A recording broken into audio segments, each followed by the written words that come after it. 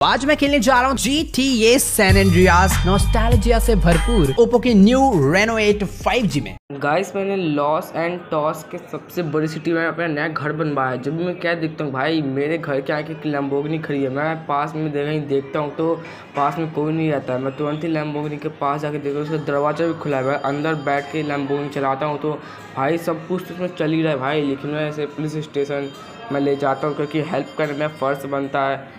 वैसे लैम्बोर्गिनी काफ़ी मस्त चल रही है। आपको कैसे लगे कमेंट में बताना। गाइस अब हम पुलिस स्टेशन पे तो पहुँच चुके हैं और ये पुलिस वाला मुझे बोल रहा है कि इसे नहीं पता ये लैम्बोर्गिनी किसकी है। और ये मुझे बोला है अगर तुम्हें चाहिए तो तुम ले जाओ फ्री में। बस लम्बोगिनी किसको नहीं पसंद है?